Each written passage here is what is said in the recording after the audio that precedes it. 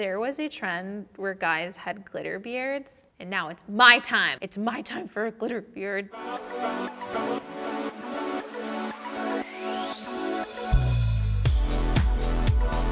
Today we are trying GlamGlow's glitter mask. That's a mouthful. GlamGlow is the fucking best. They're not fucking around with that name. They make you glam and they make you fucking glow. Basically, I use face masks whenever I like happen to impulse buy one. Like buying chocolate and like, yeah, and a face mask is gonna be my night. I have pretty oily skin. I love using mud masks. I feel like my skin is pretty sensitive, so I don't really do them all the time. I don't know what the glitter will actually do. Like Cleaning up glitter is not fun. I'm scared to willingly put a bunch of glitter all over my face that may never come off. Ooh, made in Hollywood because it's glam. Hollywood glamour. So I guess I'm gonna be a Hollywood star now. So bye. Serious skincare now in glitter. Oh my God. We got a little pot. We got a little dipstick.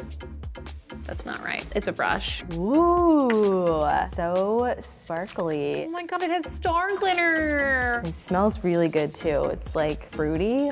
You could almost drink it if you wanted to. Apply a generous, even layer to clean skin with brush, avoiding eyebrows and hairline. Once completely dry, gently peel off from edges. They want a good peel too. I stirred it, I gooped it, dipped it. All right, I guess we're gonna get right into it. Ooh. Holy shit. I love it.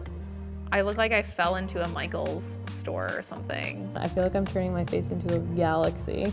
I am the universe now. I'm not feeling like any of the texture of the glitter. What is this smell?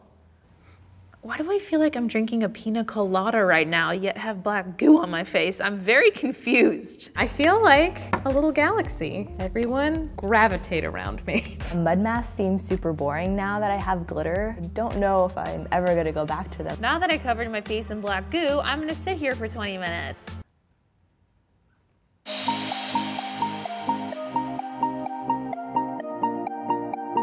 Ready to peel this off. I have so much hair on my face. This is gonna hurt. Woo!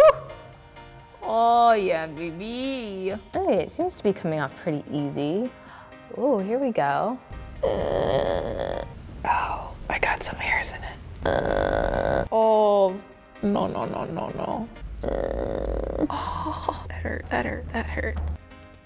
Ta-da! Oh, Oh yeah, mama. Ew, I love it. It looks like I still have some residue, so I shouldn't wash that off with a warm cloth. The hashtag glitter mask is off my face and I feel fucking fresh.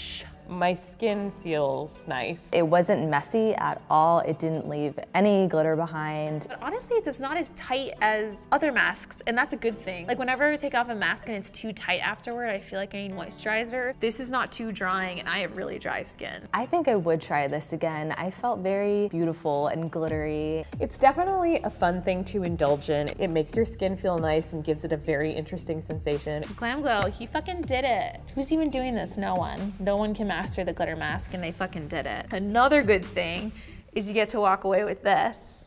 You can hang it on your wall. You can put it on your dog, on your cat. You can just lay it wherever you want, and people will have to see the contour of your face.